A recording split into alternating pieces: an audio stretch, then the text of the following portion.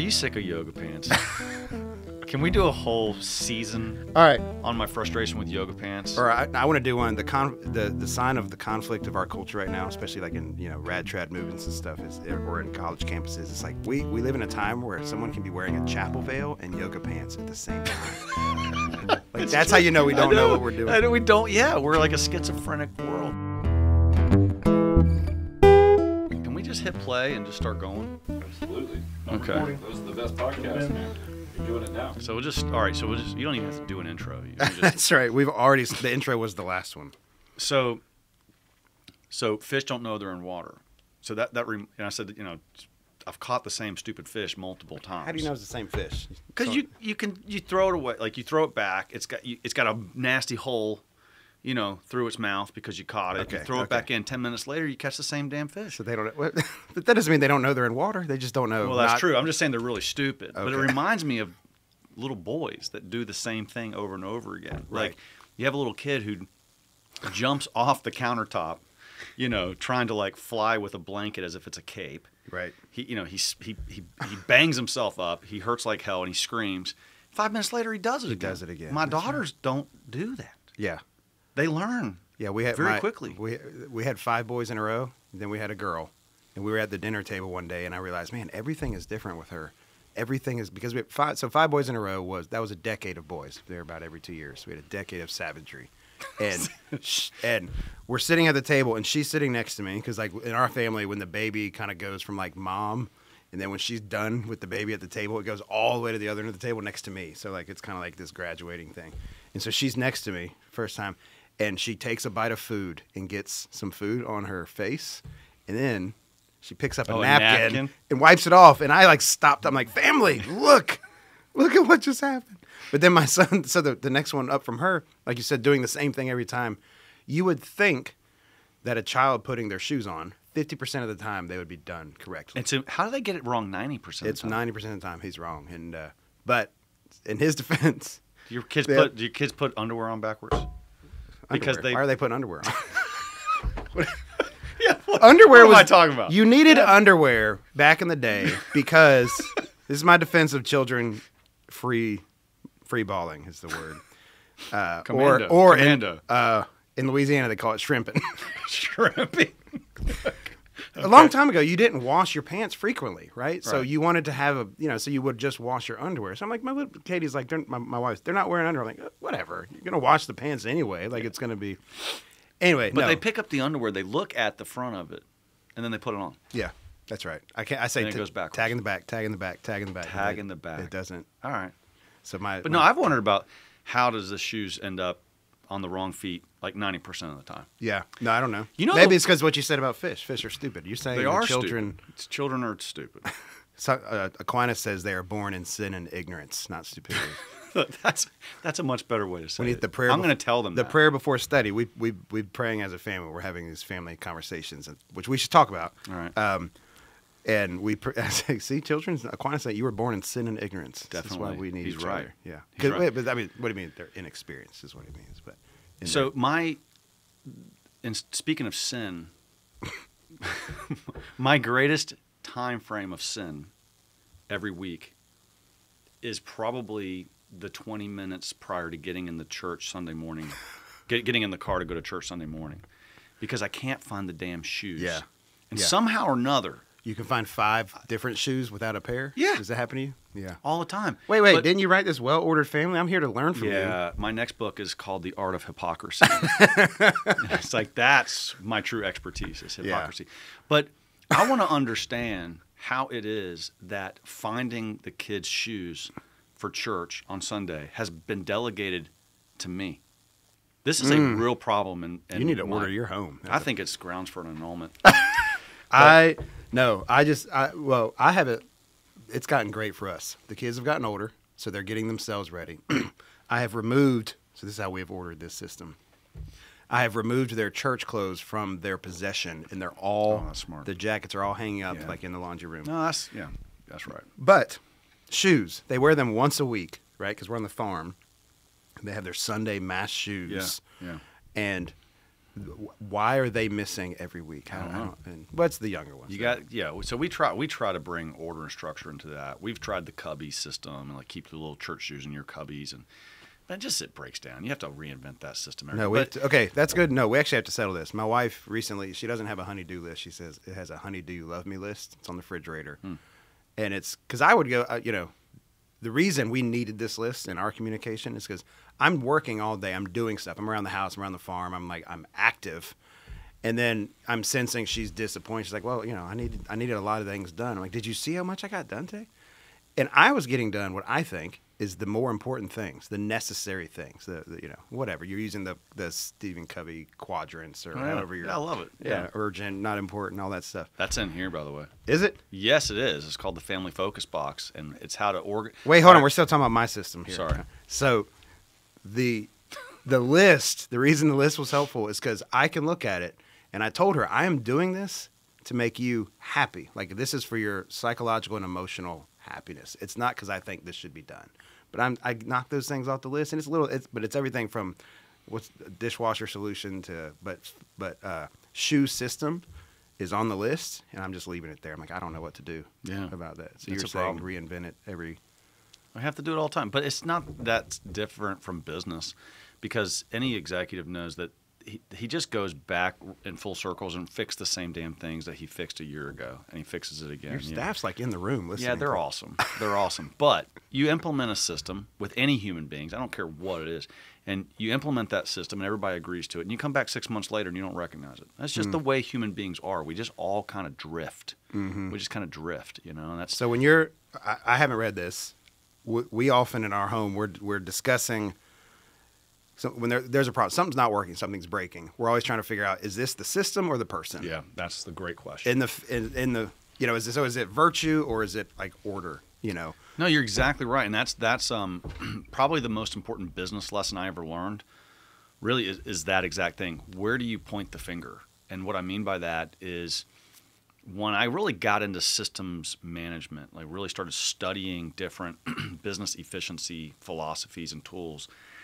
I learned from like the manufacturing world, Lean Six Sigma, and these other kind of business philosophies. That when something goes wrong, the first place you should look is the system. How did the system fail us? When I was early, I thought the career- good CEO was always supposed to say it was me. It's well, it is. It is. Let me tell you why, though, because you can do. You can point the finger at the person and say he screwed up, or you point the finger at the system, and because I'm the keeper of the system, I'm pointing my, the finger at myself because I mm-hmm. say my system failed this person. Mm-hmm. That's what leadership really is. Is you first point it at the system. So when you're at your home and you said it, did the person mess up or was the a, an order or structure or a process messed up and when that process is met that's on you and your wife that's not your kids you're the guardian of the system Right. and so pointing at your finger say how did the system fail you you first do that after you've improved that and refined that and the person's still messing up then you point the finger at them that's and that, i mean you still get you still get to blame people at some point but you have to first It's funny. I feel like most people like they couch, uh, you know, that you're blaming and making it sound friendlier. But like, no, there's times where it's actually your fault. of course that's why you fire Yeah. people Yeah. If you did not fi- if the world did not fire people we'd all be bankrupt All right. So I'm gonna. Speaking of firing people, I no I you have a- can't find you can't fire your kids you cannot do that That's well. That's or your that's why wife. I'm trying to word it. Is I hear people talk about well, I want to. We need to make businesses like families, Hmm. and part of me like vomits a little bit in my mouth because a businesses like families or families like business which one were you they saying? want to make businesses Yeah. like families. I think that's, and I think yeah, I think that's kind of silly. Well, I the reason I obviously I have trouble with it, but I think in some instances it seems like the business itself becomes a community and family, and it actually might be really good. Like it's good for the people in that business, and because we live in a culture that has so little culture, community, but Yeah. people are lonely, they do lack meaning, so they get it at work. Now it's not. It's good to have meaning in, at work. Not, none of that is bad, but it actually becomes a replacement to where the work is cordoned off the, the company, the organization, whatever it is, and like that is. I mean, especially in the in the church world, when you when you mix in like apostolic endeavors with like prayer and, and rules of life with your even like people you're working with, uh, these or it becomes a community where people aren't capable or they're not actually living like loving their neighbor and having community like I don't know in th- it's not integrated. Um, but also the thing that that bugs me is you can't fire your family. Exactly right. And that's why the church. Um, I, I read a fascinating. Uh, it was actually by an Anabaptist, but he was saying he thinks in America it's actually we're we're hyped up on discerning our gifts. Um, you know, there's analogies in, in scripture for what the church is, right? You know, the church is an organization. We know, you know, philosophically, the church is a, a perfect, or as a society, right? Perfect society.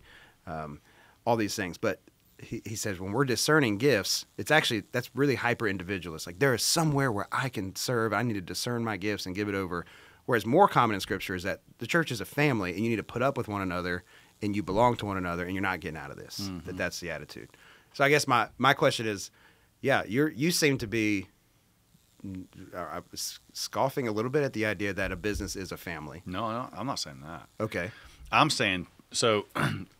For example, I'm not saying that you should treat a business like a family. I'm not. I'm saying you should treat your family a little bit more like a business. And Okay. to me, there's a big difference there. So I'll explain. So, so for example, I had this one lady that we kind of became business partners with a long time ago, creating a certain product. You know we're recording this. Yeah, and she will be named. She will be nameless, right?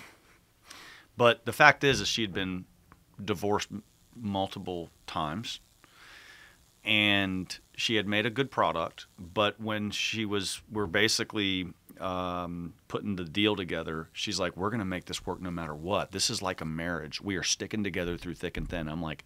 No, it's not like a marriage, and you don't have a good track record That's in that right. I- anyway. yeah, why are you using so that yeah, we are not comparing this to what I have at home. So no, it's a business arrangement. We have contracts, and there's ways in and out of those, and that's it.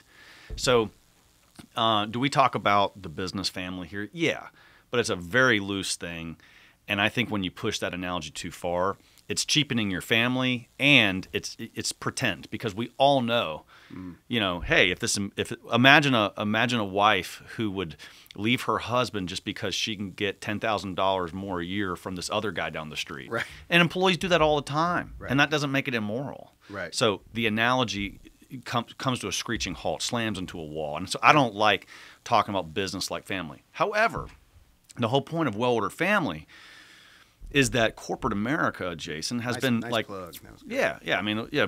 So corporate America has gotten really good at getting things done. Mm-hmm. Okay, now they might do evil things with that ability, but their ability to set a vision, Mm-hmm. to align troops around that vision, to have bulletproof systems and awesome metrics of success, and accomplish those goals, they're really good at that. Corporate Right. America has perfected that.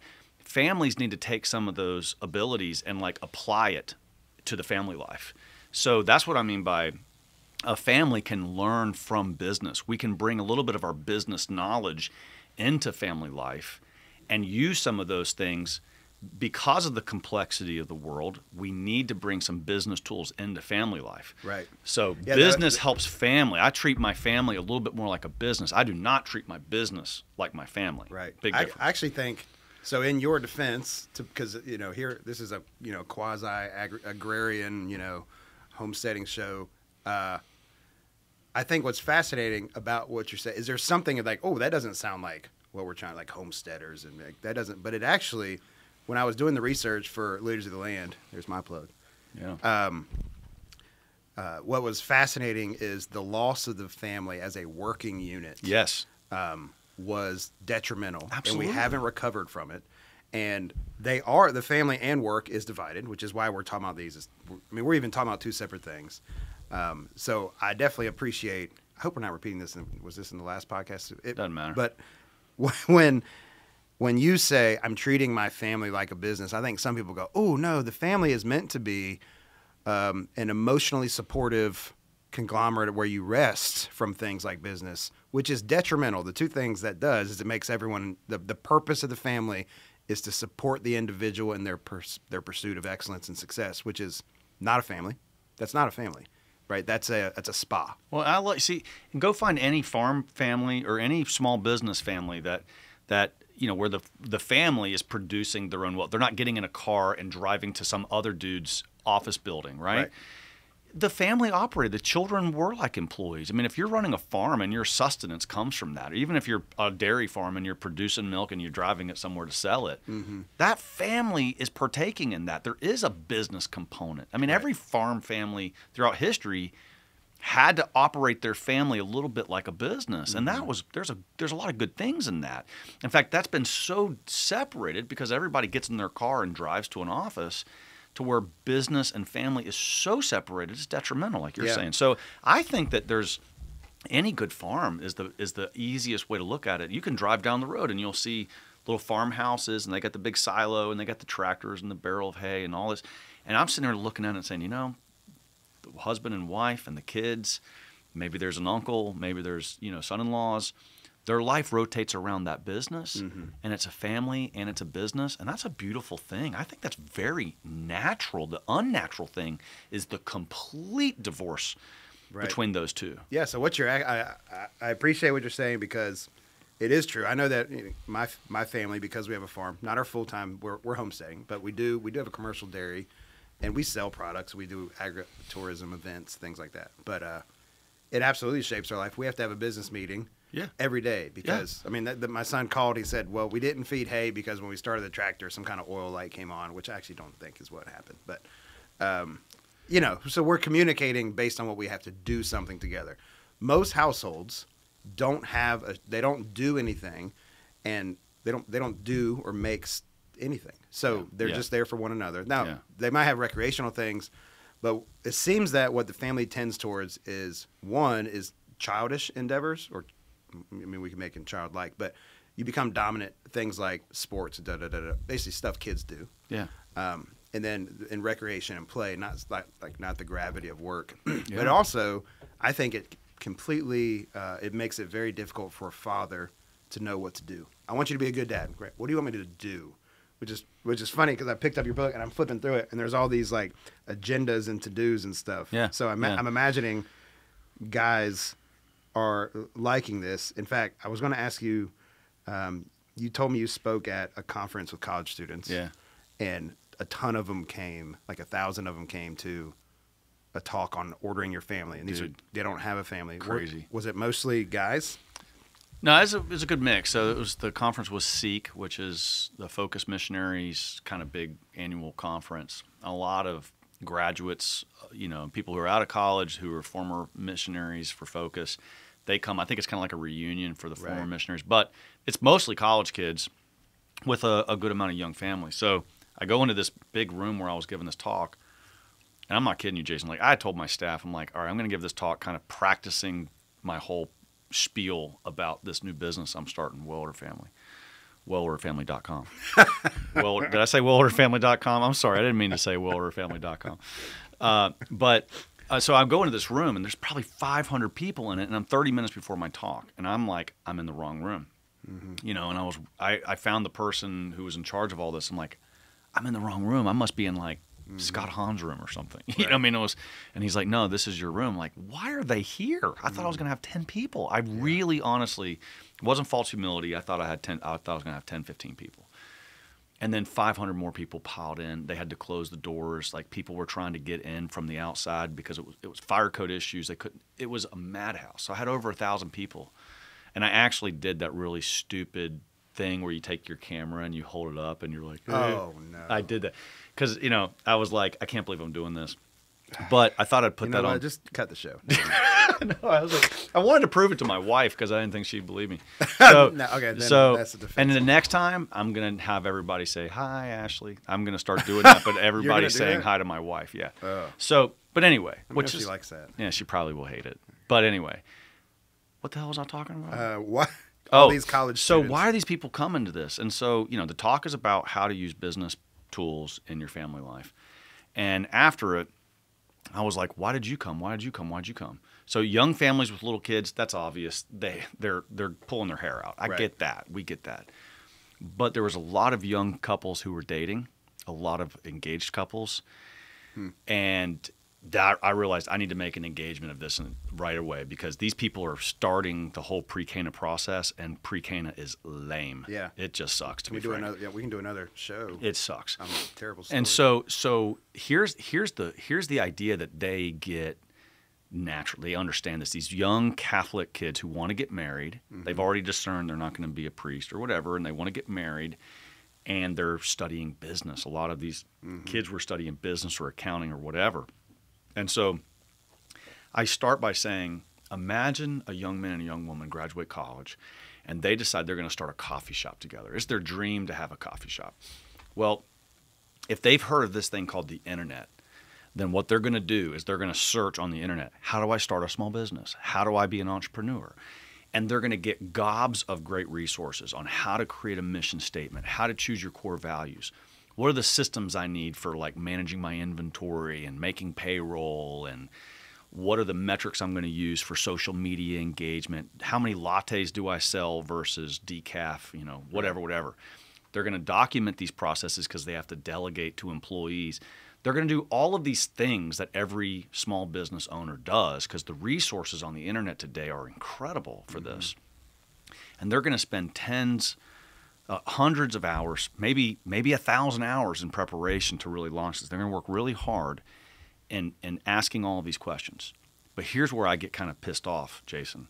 If that same young couple was getting married, they wouldn't spend one tenth of the same energy, mindset. They wouldn't ask one tenth of those same kind of questions for their marriage, for having a family. So why why are we putting so much more mental energy and precision of thought into something like running a business to make money than we are in the most important joint venture, most important partnership of your life, which is your marriage.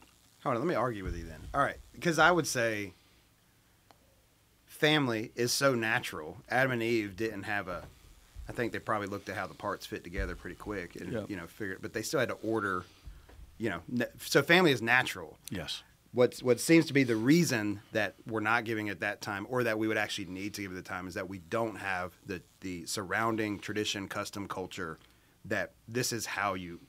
That's why I tell my my wife and I are discussing. You know, it's exhausting when you're making these constant decisions on like, should we do this or should we do that? We got invited to this or we didn't get invited to that, or what you know. It's like everything is our choice, and we're making everything because we don't live in a traditional society. You're right. Um, so if we did live in that traditional society, if you we go, wouldn't be we, wouldn't, be need getting all this we wouldn't stuff. do business planning We so would you're- not. so maybe that the, the the a world run by business you're saying okay that is what our world is run by it's run by business so you need to give this sort of attention and then the other side of that is that these college students I, and i'm from my own experience from all the experience of fr- Fraternus these you know st joe's farm fraternus.net uh, all of these things is that me got young dads Yeah. mo- most of us and I bet actually at seek there are a lot of conversions a lot of people that are maybe serious in the faith for the first time or Yeah. had a conversion in college like i don't know how to do this based on the examples of what i saw unravel in my, my own home so Dude, you've seen the, I you've it? seen the stats on on drugs on or you know family moms and dads taking antidepressants, anti-anxiety pills. Like it's out of control. Mm-hmm. 25 percent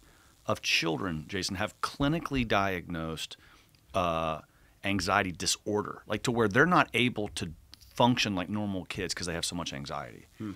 That if we were all living on farms in 1800, you might be worried about what you're going to have for dinner sometimes, but mm. you're not you're not needing medication for anxiety.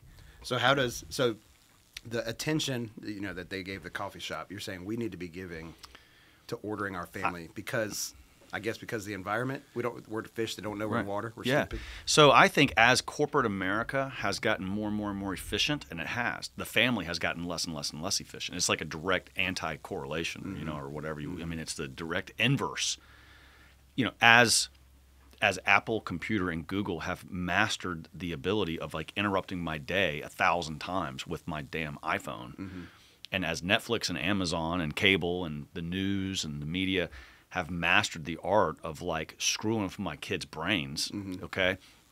And as society has been structured to where you have to get in the car to go do anything, and everybody plays a thousand sports, and everybody and moms have to do yoga class and all this garbage, everything has gotten so complex. we need to actually use the same business concepts that businesses used to get really focused.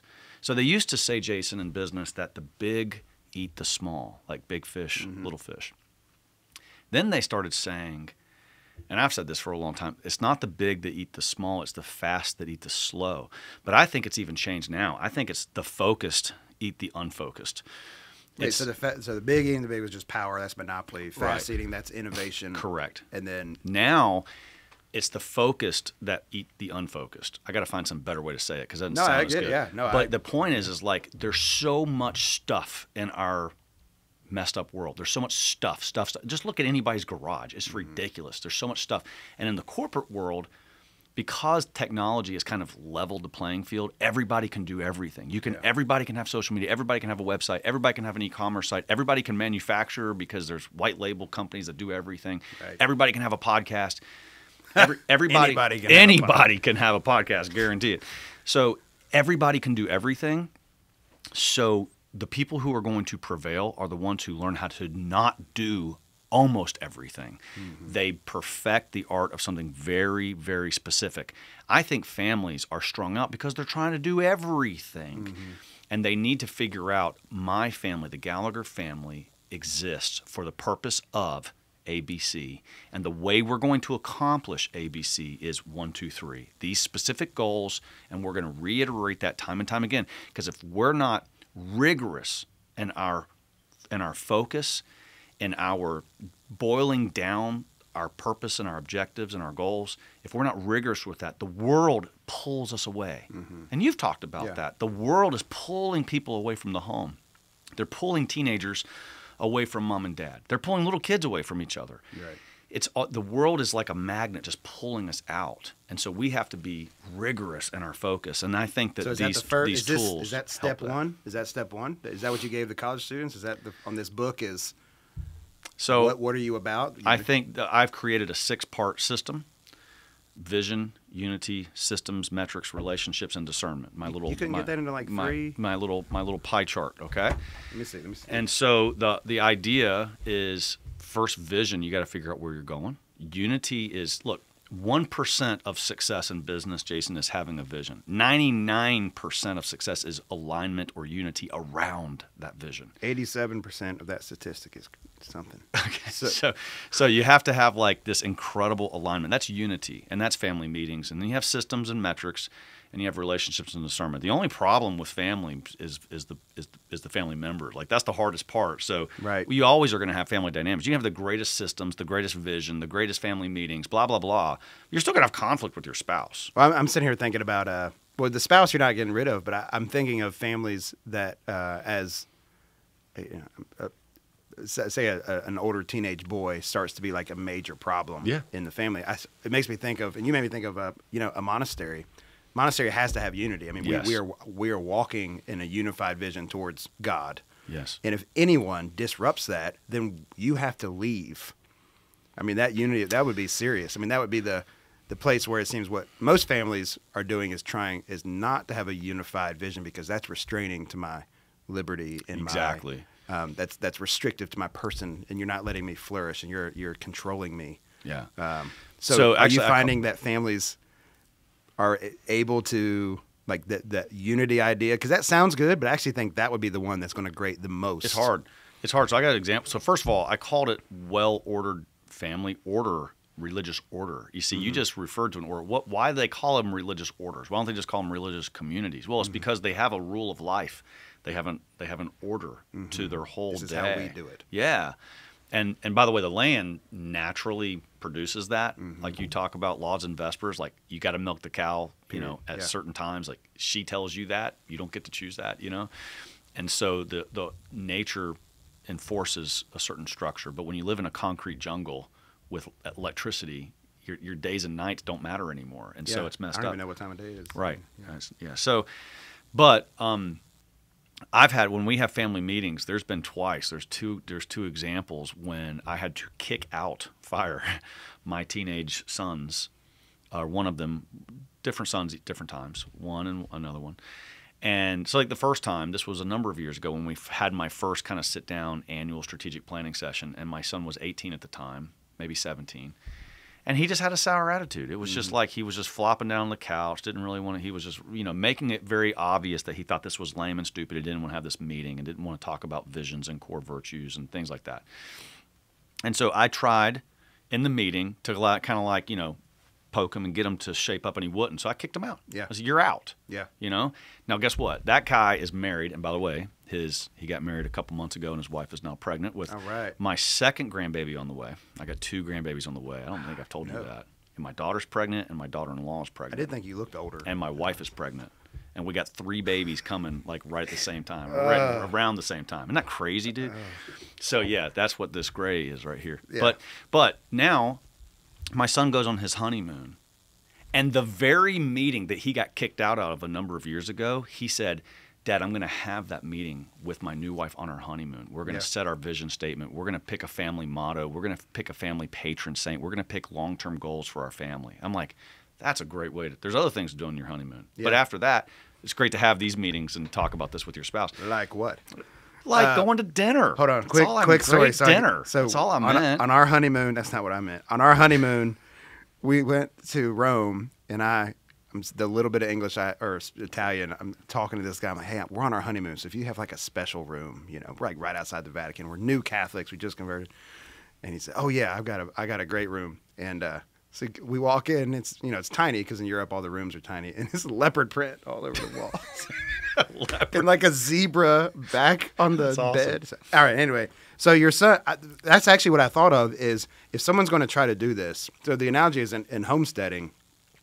As I've learned, people are like, "Oh, I want to move to the land." I'm like, "Oh yeah, well, well, here's how we did it." And something I'm realizing is that my children were young enough that they were brought up in it. Yeah. And I've seen a number of people where they're like, "Oh, we're going to move to the land. We're going to," and then, but you've got a kid who's a complete suburbanite. Yeah. And he, it's it's grading on everything he has already become. Yes. So your teenager, like it, you haven't been doing this. It's Right. going to be harder if you're 20 years in. Yeah. You're t- 10, Absolutely. 15 years in. Yeah. Um, those some sometimes, and I, it, it really, uh, especially teenage boys, are super irritating to men Yes. who are trying to bring order to something because they're being chi- they're they're acting like a selfish toddler. my my hack to that though, and I've learned, and I've violated my own rule that I tell people. To, I, you know, I'm a hypocrite. I tell people to do, and then I don't do it very well. Because I had this problem the other day. I had my other 18 year old. Oh, is this the second firing? This is the second firing, Okay. and this kid's an awesome kid. Like anybody who knows, he's not a kid. He's an 18 year old Yeah. young man. But I kind of kicked him out, you know, because he just had this sour attitude for this particular meeting. He's not going to listen to this. He'd be embarrassed if he knew I said it. But I don't want him to listen. To so, but you know, I kicked him out. Well, why? I was reflecting on it afterwards. Well, I write in the book and I tell people in my talks there are tips. There's like a whole page in that book on tips to engage your teenagers. Okay, mm-hmm. What you need to do. You know this from Fraternus and just being a human that the problem with teenagers is they are stuck between adolescent and adulthood. They feel that friction even more than we see it. And our modern world has allowed this like perpetual adolescence, even to where you go to a party for four years and do a little bit of school. It's called mm-hmm. college. Yeah. And it's like there's just no work, there's no responsibility. Now, kids in larger families, I think, like I think they're they are kind of thrust into they're like mid level management. They have to Yeah. do things. Yeah. And if you grow up on a farm, again, it's more work. So Mm-hmm. you don't you don't get to diss the cow or the chickens or the chores because you want to play video games. Like you have to do things. So, but the way to avoid having to fire your, your teenagers out of these meetings is to sit down with them well in advance, like the, a day or two before, and say, "Listen, son, I'm trying to have this meeting. You're one of the older kids. You got younger siblings. They're looking at you. I need your input on multiple levels. Number one, you've been around this family and seen our dysfunction for 18 years and I want your input. I genuinely value it. Number two, I need you to be a good example so that the 15 and 14 and 10 year old or whatever see a good example. I need you to help me do this. So I want you to think about the following three questions What should our core values be going forward? Or should we switch our patron saint? Or do we need to pick different quarterly you fired goals? a saint too. Right. Oh yeah. I, I fire saints all the time. It's awesome. I actually think you should have a different saint every year because it gives you an opportunity to develop another relationship. They don't mind, and then you can put up They all all the saints on the wall, like you have like the wall of fame with your saints. But anyway, that's another story. But ask them, and then here's the thing: In business, there's a big mistake, Jason. Like the boss thinks he's supposed to run the meetings. That's a big mistake. Mm-hmm. The boss should not, the person in charge of the substance should not be in charge of the procedure. So in law, there's like substantive law and procedural law. So I never run a meeting anymore. Okay, somebody else has to run it, and the and the the more diversity you can have in like running the meeting, we call it being the scribe. Okay, or being the chairman or whatever you want to call it. Ask your teenager to do it. If you have mm-hmm. these agendas, which I put in the book, ask that 16 year old with a bad attitude. We'd like you to chair this meeting. Prep them, you know, prepare them, but get their adult involvement. That's a huge path. treat to- them like an adult. Yes. That's why I think when you're firing an 18 year old or he's out, I mean, th- the two reasons is that if he's acting like a child or he's ready to be a man. Exactly. I mean, because in which case you wouldn't be kicking him out. Well, and that's what Fraternus is all about. Is like you're trying to get these young men to associate on an adult level with adult men. yeah. And that's why like you can't stand it when people think of it as just a youth group. Yeah, It's, very- not that. yeah, it's very difficult. I mean, but but it, we've the the church has. Uh, I don't know if you get Sword and Spade magazine. I do. You should. Uh, the, article on kid Catholics. I think one of the reasons um, th- that I would propose that we even have is this youth thing is that youth culture is an economic reality. Yeah, it is. because it's when. s- It's because boys used to become men. That was there was one step. you can tell like in their clothes and old pictures. boys became men when they were capable of, be, of being men, and they and basically when they became producers. Because a child is by necessity a consumer; they consume without giving anything back.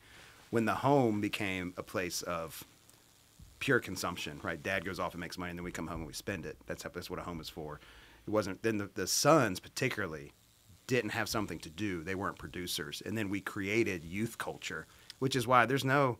I mean, you know, like in, in the uh, 1920s, 30s, 40s, even up to the 40s, record companies sold records so that families could listen to it and go, "Oh yeah, we want to play that as a I know. family." I was about to ask you. I have a question. Did Elvis create youth culture? Yeah, well, they say that was the the, the ceiling of it. That Yeah. somewhere between um, Elvis shaking his hips and Woodst. Well, actually, so Elvis shaking his hips Yeah. uh, on TV. That is when uh, the somebody somebody put it like that's when the innocents died in Yeah, America. yeah. And then Woodstock is when the youth took over the governance of our Yeah, which is did. why now i mean we're both wearing jackets here because we're such gentlemen but it would and, and now so think about how you can tell a music station from a 50s music 60s music 70s music 80s music even 90s music but at this point it's all leveled out it's just this this kind of same thing Yeah. from gen i mean i guarantee you 2024 2034 the music and everything we've we've even leveled out our clothing where everyone's dressing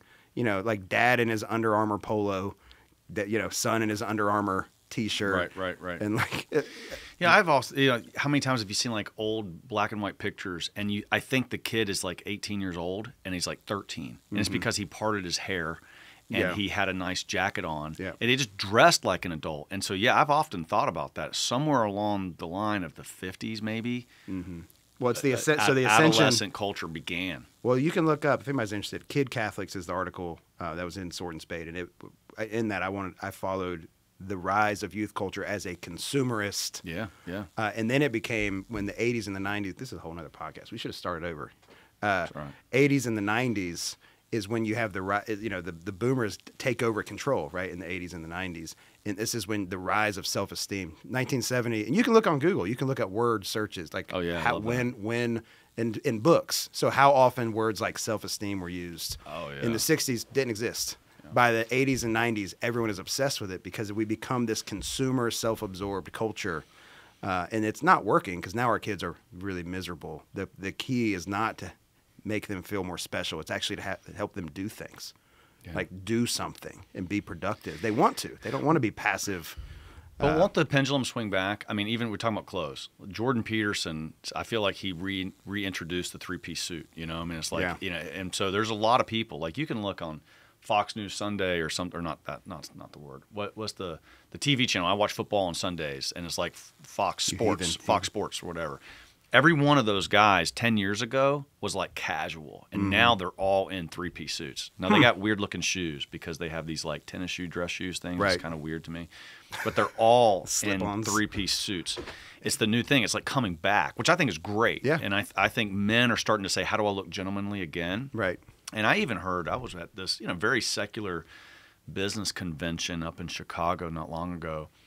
and somehow I was hearing these these women in my group were talking, and they made the comment, the feminist movement uh, have uh, forced men to act like women, and now we're angry at them for not acting like men. Mm-hmm. And so, so I, I think the pendulum's going to start swinging back, and I think men are kind of reclaiming their place in family and society and the way they dress and gentlemanliness. hope There's that's a lot true. of good I things. mean, Look at beards came back. Beards are Yeah, someone said you know, someone too me- many too many beards too I know. long. You know, somebody, but- some, somebody was like, "Why is like every millennial Catholic podcaster? Why do they always have to have a beard?" Yeah, I know, I don't yeah. know, because Yeah. I lost my razor. Well, jerk. well, it's like that's the thing is it's it's they're they're scraping to find manliness. Yeah. they always right, so have that- to have their pipe, and it just they overdo Yes, it. Sometimes, I was gonna say, yeah, but the- you know, the- the- everyone brews beer. I'm kind of tired of it. You know what I mean? But it's like they're they're trying to grasp. They're trying to Right. find these manly things, which is good. right. But I, I think the parts the it's a where little artificial. Well, sometimes. when it gets costumey, uh, is when you're getting your accoutrement uh, in your taste from the internet. Yeah. In which case, it's just another consumer brand. The much better thing is to understand what the basic decorum of your place is. Now, if you don't have a place, but you know, the, it's actually easier for men. It's like you know what, you need to put a jacket on. And you need to learn how to wear a tie. And I mean, and you start at mass. I mean, start at give your Yeah. best to God. Start Yeah. at start at mass, and then, you know, in our family, we're on the farm. We're like savages. I mean, when we're around there, it's. But actually, my my one of my mentors, he's a farmer. All my kids are out there barefooted, right? And he grew up on a farm. And and um, I said, oh, you know, like you, my kids aren't wearing shoes. He said, my dad would whip my butt if I went outside without shoes and socks on. wow. And uh, I mean, just you know, this was way back in the day, way backwoods. He said, no, and, and you see pictures of them, and they, you know, they were they dressed decent. So we try, you know, if we're, if we're going into town, you know, put your clothes on. The biggest problem is, uh, you put some clothes on. We have this we have this one son. I won't name him in case he ever listens, but he, uh, we know if it's cold outside because he's wearing jeans instead of shorts, and that because we make our kids do their laundry. Yeah, yeah, So he's like, too. oh, I got a hack. Just wear shorts, and that's it. He went shirtless from like all summer, and then now it's winter time, and he's like, if it's above forty, he's not wearing a He, shirt. look, he looks like the he looks like Tarzan, like surrounded by the apes, you know, with a oh, little what's funny- loincloth on. So if I go by the Jason Craig farm, do I see like little Tarzans out there? Well, there no because one I got like one son who's always shirt tucked in, boots on, like hat, and then this other one. And the reason is people give us clothes because they feel sorry for us, and they give me all these these dang athleisure clothes. Oh, yeah. Like this athleisure is the thing, right? Like that's the basically like a golfer. So Are you sick of yoga pants? Can we do a whole season all right, on my frustration with yoga pants? Or I, I want to do one. The con, the the sign of the conflict of our culture right now, especially like in you know rad trad movements and stuff, is eh, or in college campuses. It's like we we live in a time where someone can be wearing a chapel veil and yoga pants at the same time. like that's how you know we don't know, what we're I doing. know we don't. Yeah, we're like a schizophrenic world. Okay, Yeah. so I want I want to wrap up because this is going. I have a really important question for you, though. Remember, I Um, was told you there's. all right. I, I, yes. Don't wrap up before I do that. Okay. The well, what I want to come back to, I'd like to do another podcast, and I'm gonna go ahead and say what it is with you. Is the unity and having the family meeting, Mm-hmm. um, because that is something that, thanks to my wife and actually some of her homeschool um, philosophies, and then my own nature of enjoying substantial conversation instead of chit chat or what are you going to buy next week, Right. um, is um, we have conversations as a family that have substance and meaning, and we've actually started more and more to do when because when cultures used to be adult cultures, the children didn't speak at the table. So Mm-hmm. we've more and more made our table a place of adult conversation and, and shut the kids Well, up. they learn a lot by listening. yeah. Well, yeah. I wish Yeah. They, they would learn more. Um, so I want to talk about having the family meeting and having those conversations Yeah. and whether or not they're how, how those you know structure and organics. But we'll do that next time. What's your weird question? So, whenever I see uh, a, uh, a a billionaire entrepreneur, I think of Jason Craig, right? So I was seeing, I was seeing, right? Of course, I mean, doesn't isn't that what everybody thinks? Ah. So I saw Elon Musk, okay, on Joe Rogan's podcast, and I I had this vision that that Elon Musk calls Jason Craig, and again, I, that sounds like a joke, like Elon Musk and Jason Craig walk into a bar, but Elon Musk calls Jason Craig and says, "Hey, you remind me of Noah, okay, and you look like him a little bit, and a young Noah, And so I'm building an ark to fly to Mars, and we're going to colonize Mars. But the ship isn't that big, so we can't take two of every kind. Hmm. We can only take 10 animals. And from that 10 animals, we have to populate the, the Mars. What 10 animals do you take? Wait, is this? If Elon Musk called me and he said, "Hello, this is Elon Musk," I would say, "Who?" Um, Very rich man. Um, so you're asking me that question? Yeah. So, like, what 10 animals would you take? I had fun thinking Okay. about this, right? Because, I would. I mean, I would. Uh, you know, do you take do you take a bull and like four cows, or do you Well, take but like no- all goats, or do you take some fish? Or I don't want to geek. do? I don't want to geek out on this because I'm thinking, well, there's nothing on Mars to eat. So what can I? You got to take the stuff. animals. You got to. all right. So presuming the animals have something to eat. Of course. Okay. Somebody else brought all the plants. Absolutely, absolutely would bring a milk cow, milk cows, because you get manure for the soil, you get milk, you get to eat their babies for beef, and it's there's a reason. And that- you would that- hopefully have a bull. in a bull. That's You- the backbone, or a bunch of frozen semen, which is the church allows artificial insemination. Right. In case anyone's taking notes. And that's not even in the ten animals. That's just like another container. Yeah, that's So, right. So I don't need a bull. We just no need bull. No we need a whole container of frozen semen. Yeah, one of them will be a bull in the future. He'll know. He's probably Okay. got. He's probably got spares. Okay. Um, Awesome. I mean, pigs. Pigs would be next. Rabbits. I thought about that. I heard that they can produce 200 pounds of Yeah. meat a year. Yeah, it's in. It's in the book. We we we go through all those. Yeah, you just read the book. It's in Oh, there. All right. Um, Would you take fish? there's water there. Yes, yeah, I of course. There's, there's water. Somebody else brought Of water course. to I'm, Mars. Like I'm an idiot for not thinking about it. Uh, fish. Where are we? Cows, pigs, fish, chickens. These are all relatively disease-free. Rabbits. That's five. I'm good. So you just okay. So two, yeah, two of each. That's right. One cow, one bull. No bull. What? The frozen bull. Oh, Frozen fr- oh, that's right, you got frozen semen. I forgot about We need a pack of gloves, gloves, and A pack of gloves. to for to get the semen in there. It doesn't without the bull. Takes How do you do that, Jason? There's a. It involves a straw, a long glove, and uh, lubricant. All right. Is that a homeschool lesson? they see it all the time. They're watching there. Yeah. Uh, What I've about had the- goats? Isn't goat meat the most edible meat like in the world? yeah. You Uh, they say it's the most eaten. I Eaten, guess. yeah. Uh, people say you find out when you're homesteading if you're a goat person or a cow person. I'm just not a goat person. But yeah, okay, you bring some goats. That'll be the All right. the bonus. And if they die, whatever. You got All right. Well, maybe Elon will listen to this and All right, uh, call. Conor, thank you for being on uh, on Till and Keep podcast. Next time we're going to talk about the the family unity and uh, and having these meetings and conversations a little more specific. Because I after this podcast, I don't think you'd be good at that. So I'm interested how you wrote it down. All right. Thanks for being here. Thanks, man. This episode of Till and Keep has been brought to you by Tan, Fraternus, and Sword and Spade. Till and Keep is a podcast that shows how the primordial command from God to Adam to till and keep the garden applies whether you toil on a farm or in a concrete jungle. Visit tillandkeeppodcast.com to subscribe and follow the show. And use coupon code TILL25 to get 25% off your next order at tanbooks.com.